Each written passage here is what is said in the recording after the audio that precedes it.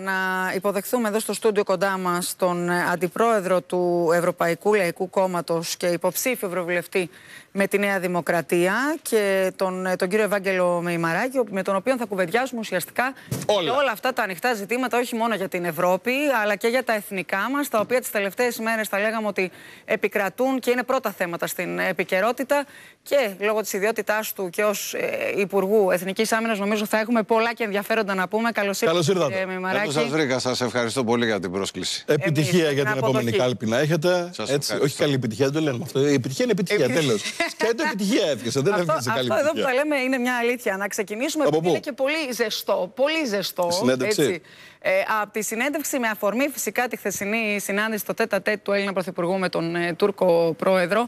Πριν από λίγη ώρα παίξαμε εδώ την συνέντευξη του Προέδρου του ΣΥΡΙΖΑ, του κ. Κασελάκης, στην εκπομπή, ο οποίος για ακόμη μια φορά ουσιαστικά, όπως και πριν τη συνάντηση το είχε πει, ε, επιμένει ότι ήταν λάθος αυτό το, να πάμε το να το να, να, αυτή η συνάντηση με τον κ. Ερντογάν.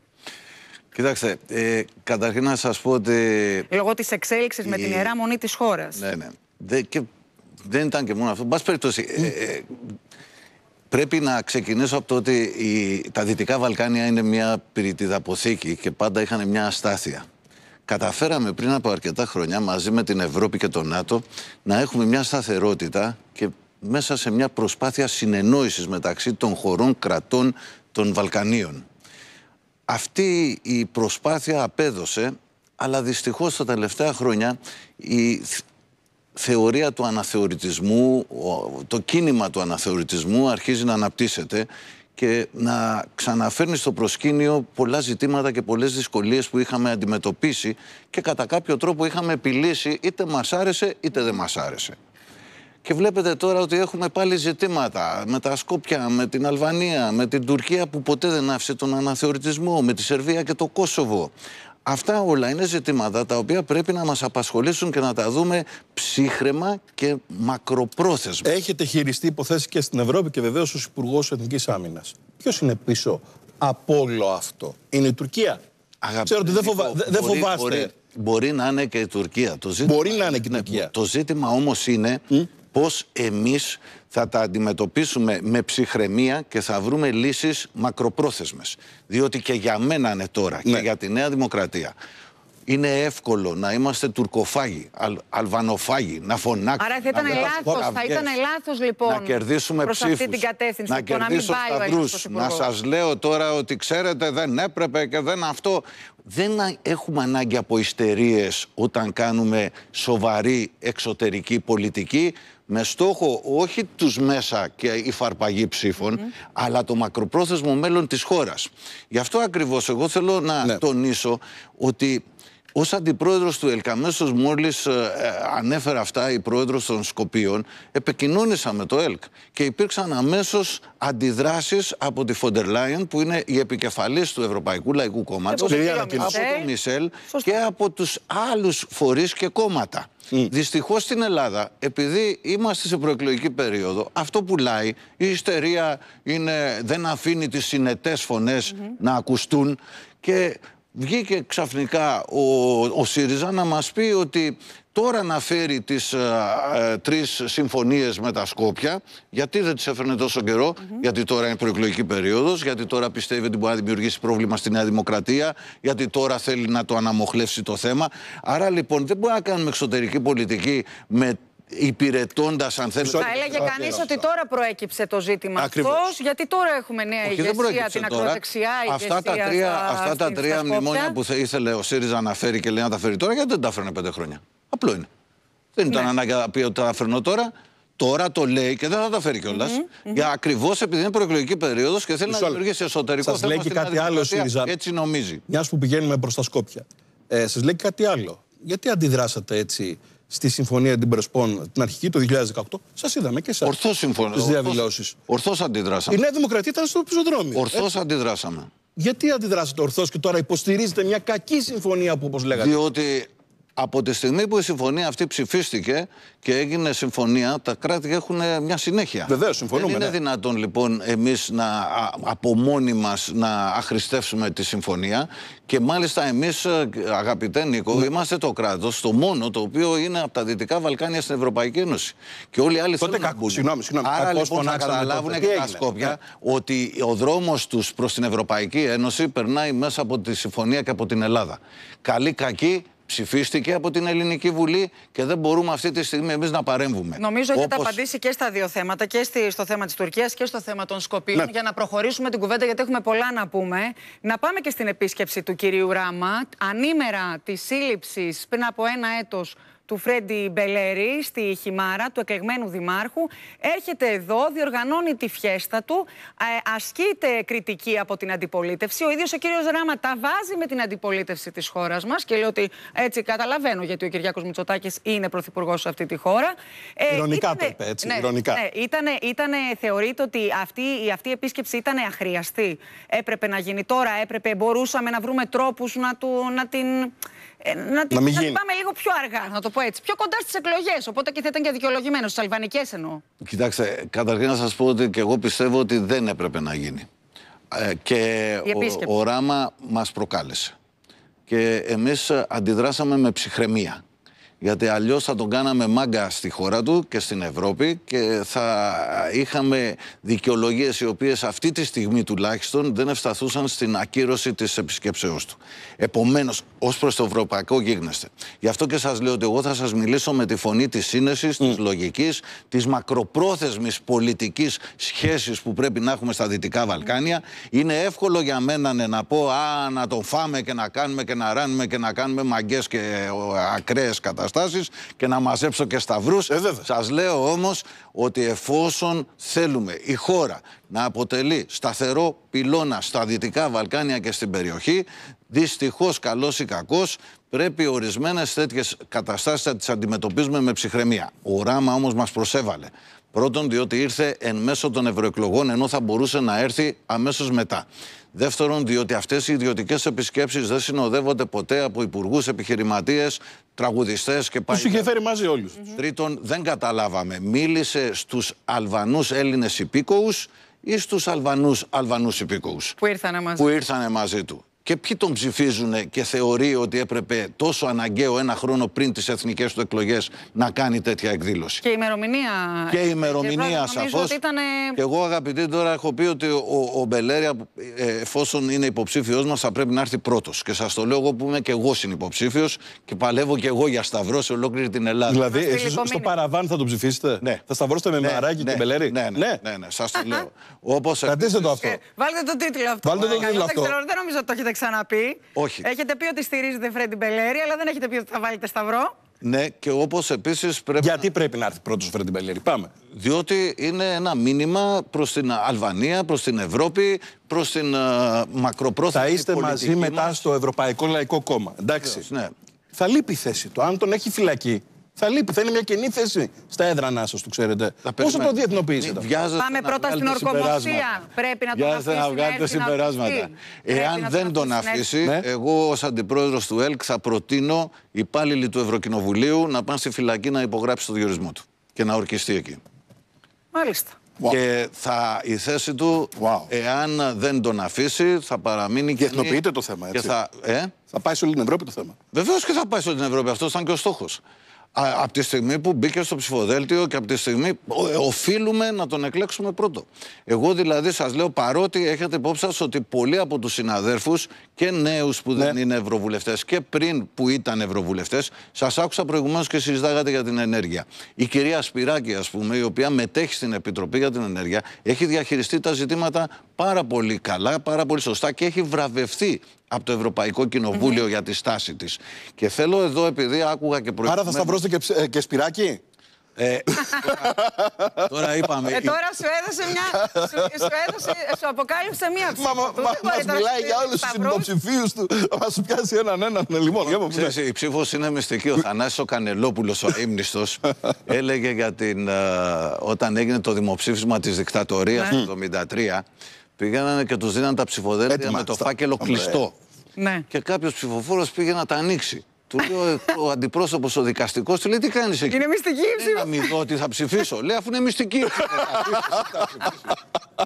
λοιπόν, λοιπόν πάμε λίγο να επιστρέψουμε στα, στα πάμε δικά μας. Ε, εγώ ήθελα να, να σας πω ότι στην ατζέντα μας είναι το θέμα της ενέργειας και της πράσινης ανάπτυξης πάρα πολύ σοβαρό. Κοστίζει. Η, η, το Ευρωπαϊκό Λαϊκό Κόμμα θέλει να έχουμε αυτάρκεια και αυτονομία στην ενέργεια. Να το δούμε. Καλή τιμή και φτηνή. Αργήσατε για να μπορούμε. Όχι, δεν αργήσαμε. Θα σας πω, κύριε Κοφάντη. Φά, φάγαμε τρία χρόνια την κρίση με τις τιμές της ενέργειας χωρίς να μπορεί να αντιδράσει η Ευρώπη. Μην το ανοίξουμε τώρα αυτό. Όχι, όχι, θα το κλείσουμε μεθαύριο. Ένα λεπτό θα το ανοίξουμε. Ναι, όχι, ε, κατηγορούμε την Ευρώπη, ξέρετε, και εγώ πιστεύω ότι πρέπει να βελτιωθεί σε πολλά η Ευρώπη. Αλλά την κατηγορούμε και σε θέματα που δεν έχει αρμοδιότητα.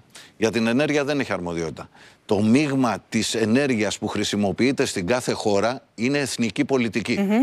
Άλλη χώρα έχει, όπως ακούσατε, ανανεώσιμες πηγές. Ναι. Άλλη έχει βενζίνη. Άλλη, άλλη έχει πυρηνικά. Ωραία, εντάξει. Η Γαλλία έχει πυρηνικά. Όπως. Γιατί έπρεπε εμείς λοιπόν... οι Έλληνες πολίτες να πληρώσουν τη βενζίνη εκεί που την πληρώσανε και το ρεύμα αυτό που πληρώσανε; Νίκο, αν μας δώσετε την αρμοδιότητα τα εθνικά κοινοβούλια, η Ευρώπη ξέρει να ανταποκριθεί σε αυτό. Λοιπόν, πάμε, είναι όμως θέμα των εθνικών κυβερνήσεων. Και τι έκανε η Ευρώπη, επειδή είναι οικονομική και νομισματική ένωση, αποδέσμευσε πόρους και από το Ταμείο Ανάκαμψης, ώστε οι εθνικές κυβερνήσεις ναι. να βοηθήσουν Μας... τις μικρομεσαίες. Μα και τα εθνικά κοινοβούλια, βάσει του Ευρωκοινοβουλίου πλέον Α, αποφασίζουν, ε, τα... κύριε Πρόεδρε. Είναι αλήθεια, είναι αλήθεια ότι πάνω από το 100 των νόμων που ψηφίζουν τα εθνικά κοινοβούλια είναι οδηγίες και νόμοι και ψηφίσματα mm-hmm. ευχές του Ευρωκοινοβουλίου. Γιατί το Ευρωκοινοβούλιο έχει γίνει συνομοθέτης. Ναι. Και πρέπει πλέον να το προσέξουμε. Όμως, για θέματα που έχουμε αρμοδιότητα από τις συνθήκες. Ναι. Από τις συνθήκες, λοιπόν, δεν έχουμε διαπάσα νόσων, και επιτρέψτε μου και τα υπόλοιπα. Ναι. Έχουμε για συγκεκριμένου αρμοδιότητες που μας ορίζουν εμπορικές, οικονομικές και ιδιωτικές συμφωνίες. Ναι. Άρα το θέμα το, του πολιτισμού, το θέμα της παιδείας, το θέμα της ενέργειας, το θέμα της υγείας είναι κυρίως εθνικές πολιτικές και παρακαλώ αυτό να το καταλάβουν γιατί η Ευρώπη ναι. συμμετέχει κυρίως με οικονομική συνεισφορά σε όλα τα προγράμματα και σε όλες τις τα έργα. Πάμε γρήγορα γιατί θέλουμε να έχουμε χρόνο να σας το ρωτήσουμε όλα Ακόμα να προλάβουμε. Και το πρόγραμμα για την πρόληψη του καρκίνου του μαστού χρηματοδοτείται εξ ολοκλήρου από την Ευρωπαϊκή ναι. Σωστά. Κύριε Πρόεδρε, και έτσι πρέπει. έργο έχουμε... που να μην χρηματοδοτείται από την Ένωση. Λοιπόν, πάμε λίγο, πάμε λίγο στα εδώ. Να γιατί εκεί βλέπουμε... άνθρωποι που θα τα παλέψουμε αυτά, που θα τα ξέρουμε και θα μπορούμε να βοηθήσουμε τη χώρα μας σε συνεργασία πάντα με την κυβέρνηση. Γι' αυτό και πάτε καλά στις δημοσκοπήσεις. Ναι, ναι στη μάχη έχουν ρηχθεί οι αρχηγοί για τα καλά και φυσικά όλοι οι υποψήφοι, αλλά βλέπουμε ότι ε, και ο κύριος Μητσοτάκης και ο κύριος Κασελάκης προσπαθούν και θέλουν να το πάρουν λίγο πάνω τους. Ε, η, η αντιπαράθεση διεξάγει σε αρκετά έτσι έντονο κλίμα, θα έλεγε κανείς ότι μιλάμε για εθνικές κάλπες και όχι για κάλπες ευρωεκλογών. Νομίζω ότι έχετε αντιληφθεί αυτό λόγω της εμπειρίας σας, ότι σε τέτοιους ρυθμούς κινούμαστε και εμείς οι δημοσιογράφοι και εσείς οι πολιτικοί.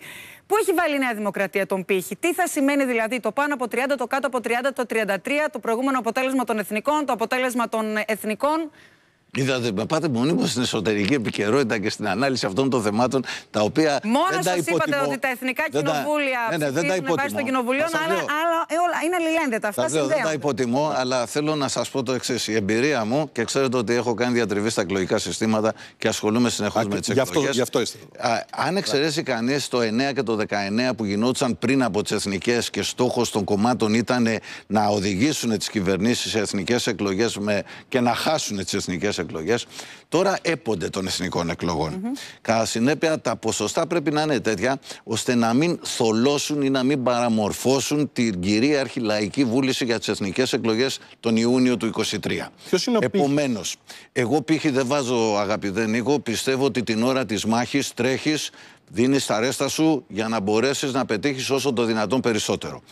Έχετε Άρα δίκιο, θα πρέπει να είστε πάνω από το ποσοστό. Αγαπητέ μου τώρα, έχεις δίκιο ότι είμαι από τους παλιούς πολιτικούς που εγώ διαισθάνομαι και τη διαμαρτυρία και την αποχή και την ατμόσφαιρα πριν πάει στην κάλπη. Μπράβο. Και γι' αυτό και τρέχω και περισσότερο. Και νομίζω ότι καλά κάνουν και οι αρχηγοί. Διότι η εμπειρία λέει ότι στις ευρωεκλογές έχουμε πάντα μεγάλη αποχή σε όλη την Ευρώπη. Mm -hmm. Ένας λόγος που η Νέα Δημοκρατία έκανε τότε πενταετή τη θητεία των αυτοδιοικητικών ήταν για να συμπέσουν με τις ευρωεκλογές. Δυστυχώς ήρθε το ΣΥΡΙΖΑ, το άλλαξε και τώρα θα έχουμε μόνο ευρωεκλογές. Και η αποχή θα είναι πολύ μεγαλύτερη. Επομένως, τα, τα, τα, τα κυβερνώντα κόμματα σε όλη την Ευρώπη είναι αυτά τα οποία έχουν απώλειες. Άλλες πολλές φορές, άλλες λίγες. Γιατί; Γιατί υπάρχει η ψήφος διαμαρτυρίας, υπάρχει απογοήτευση και αυτή η ψήφος μετακινείται όχι προς το άλλο κόμμα το συστημικό, αλλά προς το κόμμα διαμαρτυρίας, προς το κόμμα το ακραίο. Άρα δεν έχουμε μετακινήσεις από την Ουδού στο ΣΥΡΙΖΑ ή από το ΣΥΡΙΖΑ στο Πασόκ. Δεν έχουμε ακροδεξιά. Έχουμε μετακινήσεις. Έχουμε προς ακραία κόμματα. Προς διαμαρτυρίες. Εκεί είναι οι μεγάλες μετακινήσεις. Γι' αυτό και εγώ ζητάω να ναι. σκεφτούν με ψυχραιμία και λογική. Να έρθουν στην κάλπη και να μην πάμε σε ψήφο διαμαρτυρίας. Δεν είναι ώρα να παίξουμε το διακύβευμα των Μισό εθνικών λεπτό, εκλογών. Μισό λεπτό έχετε περάσει, γιατί κάνει πάμπολες εκλογές. Ε, ήσασταν πρόεδρος, διατελέσετε πρόεδρος της Νέας Δημοκρατίας. Ξέρετε το σύστημα εντός. Εδώ βλέπουμε ότι τα μισά στελέχη της Νέας Δημοκρατίας, κύριος Πιλιοτόπουλο, ο Ευάγγελος Αντώναρος, συνεργάτες σας το προηγούμενο διάστημα. Και τα μισά στελέχη του... στηρίζουν Μισό λεπτό. Πάνε και στηρίζουν ανοιχτά τον κύριο Κασελάκη.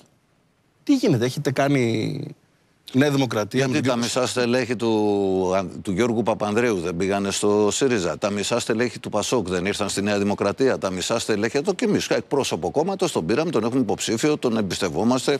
Έχει αφομοιωθεί. Κύριε Κοφάντη, αυτά αφορούν του. Εσείς γιατί δεν πήγατε, ας πούμε; Μισό λεπτό, καθίστε τώρα. Εγώ όχι μόνο δεν πήγα, αλλά ίσως είμαι ο μόνος που έχει φτάσει σε τέτοια αξιώματα και έχει μείνει από το 1974 στη Νέα Δημοκρατία. Είμαι ο μοναδικός που έχασε από τέτοια διαδικασία και έμεινα στο κόμμα και στήριξα τη σημερινή ηγεσία ναι. κατεβαίνοντας με σταυρό. Είμαι ο μόνος πρώην πρόεδρος σε όλο το πολιτικό σύστημα, όχι πρωθυπουργός, πρώην πρόεδρος που κατέβηκε με σταυρό. Όλοι οι άλλοι.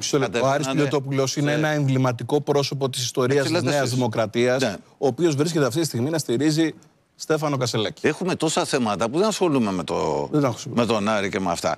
Γιατί οι πολιτικές είναι αυτές οι οποίες κάνουν ε, τις, ε, δίνουν την ε, ε, έκφραση. Αλλά σας ξαναλέω, έχουμε και εμείς εκπρόσωπο άλλου κόμματος. Έχουν χάσει τη φυσιογνωμία τους τα κόμματα. Έχουν, έχει αλλάξει η φυσιογνωμία των κομμάτων, ε, κύριε Πρόεδρε. Όχι, αυτά αφορούν αυτούς που μετακινούνται. Τα κόμματα έχουν συγκεκριμένες αρχές. Τώρα, αν αυτοί που μετακινούνται λένε Α, μετακινήθηκε το κόμμα και τώρα με εκφράζει και μπήκε ο ΣΥΡΙΖΑ στο μεσαίο χώρο που και εγώ πίστευα, είναι δικό τους θέμα. Εγώ δεν πιστεύω ότι ο ΣΥΡΙΖΑ έχει μπει στο μεσαίο χώρο. Ούτε πιστεύω ότι η Νέα Δημοκρατία είναι δημο... Πασόκ. Είναι νέα δημοκρατία. Άρα η νέα δημοκρατία δεν, δεν, Είναι νέα δημοκρατία. Εγώ εκφράζω τον νέο δημοκρατικό κόσμο, εκφράζω όλους αυτούς που ψήφισαν. Έχω καλή συνεργασία με τον Πρωθυπουργό. Παραμένω μέσα, κατεβαίνω με σταυρό. Νέα δημοκρατία απευθύνεται πολύ στο κέντρο, κύριε Πρόεδρε. Όμως. Και θεωρώ ότι ναι. αυτό είναι μια παρακαταθήκη μεγάλη την οποία μου αναγνωρίζει κιόλας ο κόσμος. Ναι. Είπατε κάτι πριν. Το κρατάω. Ότι βλέπω ποιο είναι το κλίμα και τρέχω περισσότερο για αυτές τις εκλογές. Δεν είναι τα ρέστα μου. Ναι. Είστε πρώην πρόεδρος της Νέας Δημοκρατίας. Οι άλλοι πρόεδροι τρέχουν, ναι. Δηλαδή, ο Αντώνης Σαμαράς δεν τον έχουμε δει στο δημόσιο διάλογο. Ο Κώστας Καραμαλής δεν έχει βγει στο δημόσιο διάλογο. Δεν θα έπρεπε να τους δούμε; Ναι, θα δούμε. Περιμένετε. Δεν τελειώσαν οι εκλογές ακόμα. Ε, πολύ πιθανόν να έχουμε εμφανίσεις δικές τους ναι. στήριξης. Εγώ ξέρω και πιστεύω ναι. ότι μέσα στην καρδιά τους έχουν τη Νέα Δημοκρατία, τις αρχές και το πρόγραμμα της Νέας Δημοκρατίας. Στηρίξαμε τις αρχές μας με τον οποιονδήποτε πρόεδρο τις οποίες εξέφραζε και από εκεί και πέρα μπορεί να έχουμε κάποιες διαφωνίες, μπορεί να υπάρχουν αστοχίες, μπορεί να υπάρχουν λάθη. Εδώ είμαστε και να τα διορθώσουμε, να πούμε τη γνώμη μας, αλλά από εκεί και πέρα ο ίδιος ο κύριος Μητσοτάκης δήλωσε ότι αισθάνεται πολύ κοντά. Υποθέτω ότι έχει και συνεννόηση και συνεργασία μαζί τους, όπως έχει και μαζί μου.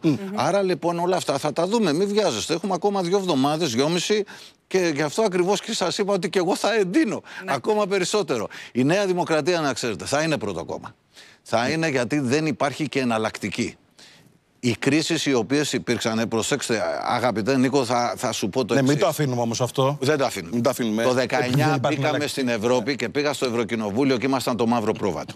και σήμερα έχουμε καταφέρει με προσπάθειες να έχουμε αντιπρόεδρο στην Ευρωπαϊκή Επιτροπή, τον κύριο Σχοινά, να έχουμε αντιπρόεδρο στο Ευρωπαϊκό Λαϊκό Κόμμα, να έχουμε τον πρόεδρο της συνέλευσης κοινοβουλευτικής στο Συμβούλιο της Ευρώπης με τον Θοδωρή Ρουσόπουλος. Πότε άλλοτε η Ελλάδα ξανά είχε τέτοιες θέσεις. Και να συζητείτε τώρα και ο Πρωθυπουργός αν μπορεί να γίνει πρόεδρος της Επιτροπής της Ευρωπαϊκής. Για μένα είναι μεγάλη τιμή ότι ένας Έλληνας και όχι Γερμανός, Ισπανός, Ιταλός, Γάλλος που τόσα χρόνια έχουμε να συζητείτε αν μπορεί να γίνει πρόεδρος της Ευρωπαϊκής Επιτροπής. Τι σημαίνει αυτό, Ότι η Ελλάδα έχει προχωρήσει.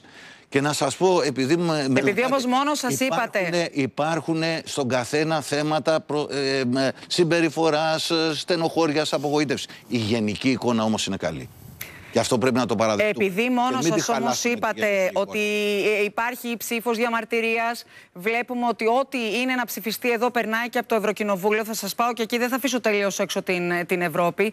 Βλέπουμε εδώ ότι γίνεται ένας αγώνας δρόμου, γιατί πραγματικά στις δημοσκοπήσεις φαίνεται ότι ο κόσμος ε, έχει καθημερινά προβλήματα στην καθημερινότητά του. Όπως παραδείγματος χάρη η ακρίβεια. Και βλέπει τις ευρωεκλογές ως μια ευκαιρία να στείλει, ε, να στείλει το μήνυμά του. Ανεβαίνουν τα κόμματα τα οποία είναι πιο δεξιά της Νέας Δημοκρατίας. Το βλέπετε και εσείς. Τα κόμματα τα πιο ακραία. Τα πιο ακραία λέτε εσείς. Ναι. Και από τις δύο πλευρές, ναι. λοιπόν. Με αναθεωρητισμό, με λαϊκές φωνές, με κραυγές, τα οποία όμως δεν μπορούν να δώσουν λύσεις στα καυτά προβλήματα της Ευρώπης. Γιατί και εγώ θέλω να αλλάξει η Ευρώπη, αλλά πρέπει να είμαι μέσα με προτάσεις και σοβαρότητα να Είναι ευκαιρία οι εκλογές αυτές να, να, να, να, ψηφίσουν, να καταψηφίσουν το κόμμα, τη Νέα Δημοκρατία, λόγω του γάμου των ομόφυλων. Θα το πληρώσει η Νέα Δημοκρατία σε αυτή την κάλπη; Θα το δούμε αυτό και είναι πολύ πιθανό να υπάρχουν ψήφοι διαμαρτυρίας για το συγκεκριμένο θέμα. Όμως αυτό δεν αφορά την Ευρώπη. Είναι εθνική πολιτική. Και ξαναλέω, προσέξτε, το θέμα της πράσινης ανάπτυξης ίσως είναι το πιο σοβαρό και το δεύτερο στην ατζέντα μας είναι ο αμυντικός βραχίωνα και το τρίτο είναι η τεχνητή νοημοσύνη, μεταναστευτική ναι, πολιτική ναι. και πάει λέγοντας. Στην πράσινη ανάπτυξη, εμείς όταν την ψηφίσαμε το 20, όταν ξεκίνησε ο πόλεμος όμως, είδαμε ότι δημιουργείται κατάσταση με την Ουκρανία και ζητήσαμε αναστολή διατάξεων και στον πρωτογενή τομέα και στον τομέα της ενέργειας.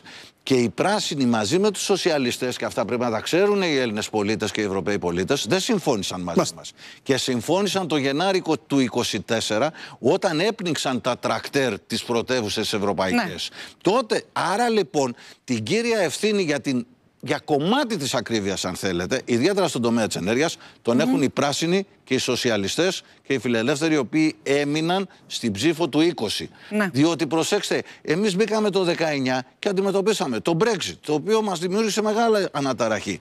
Την πράσινη ανάπτυξη, τους πολέμους, τον κορονοϊό, το Ταμείο Ανάκαμψης, το μεταναστευτικό, τα Δυτικά Βαλκάνια.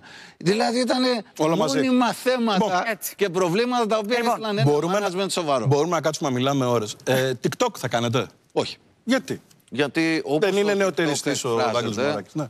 Όπως το TikTok εκφράζεται, εγώ έχω ένα άλλο προφίλ το οποίο δεν μου επιτρέπει να εκφραστώ έτσι. Ο Κυριάκος Μητσοτάκης έχω... κάνει, ο Στέφανος Κασελάκης κάνει. Κοιτάξτε, ναι. και τι με νοιάζει μένα.